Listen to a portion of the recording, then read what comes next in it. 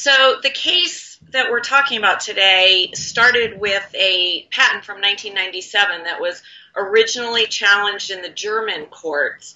And this, the basis was that there was a directive in the European Union that basically said you can't patent inventions that deal with the commercialization of humans. Um, this was against public morality. So the German court originally decided that the patent was invalid, and the uh, patent owner appealed the decision. The German federal court then referred the case to the High Court in Europe, which was the European Court of Justice.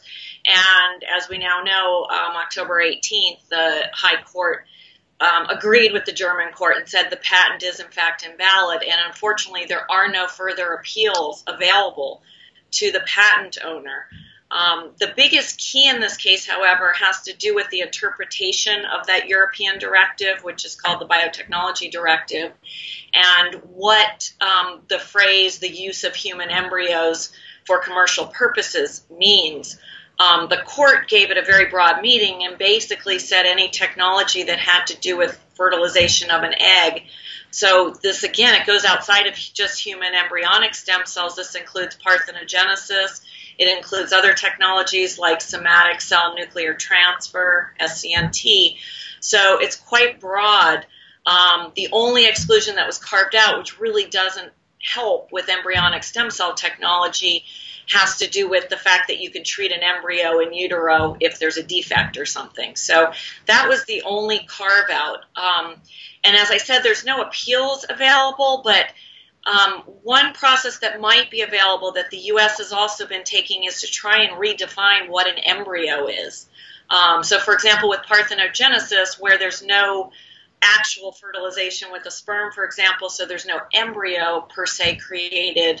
Um, perhaps if the definition of embryo under this European directive could be amended, that could allow for additional stem cell technologies to be patented, but it, but it won't help the embryonic stem cell technologies.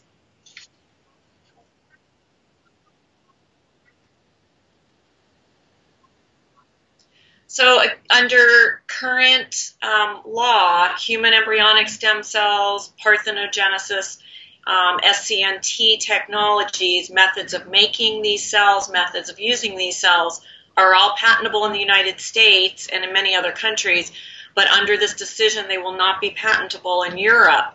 Um, one other technology, IPS, or induced pluripotent stem cells, which deals with the use of adult cells, skin, umbilical cord blood. Um, we hear a lot about fat tissue, adipose tissue.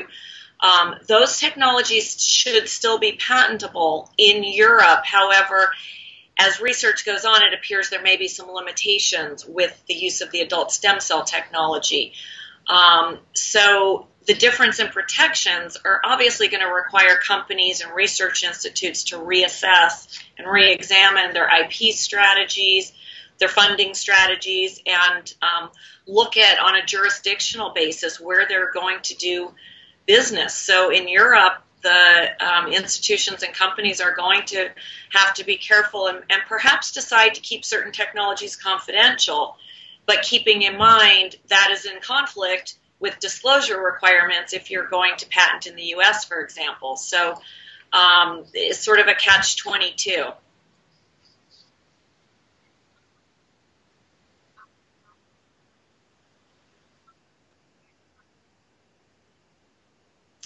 So clearly, this decision could uh, deter companies and investors from investing in European companies and institutions for the purpose of doing research on embryonic stem cells.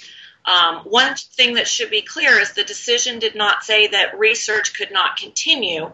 It merely says you cannot patent your inventions, research or, or development um, of inventions. But as we know, the patent system is attractive to investors because they want to see a return on their investment. They want to have some protections against competition um, that that can be protected by patents and not easily copied by others.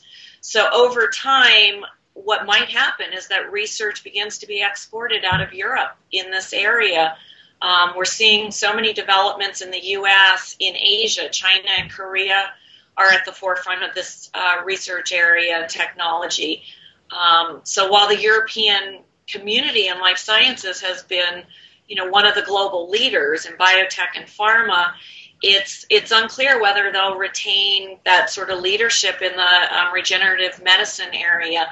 It's going to be very difficult to get investors to buy in and spend millions of dollars on technologies that um, can be copied easily because they don't have the protections that that uh, the patents give them, and and maybe to a certain extent the ruling gives other countries outside of Europe an opportunity to step up and take the lead in stem cell technology development and uh, research. Um, the regenerative medicine area just holds tremendous promise in medicine and healthcare.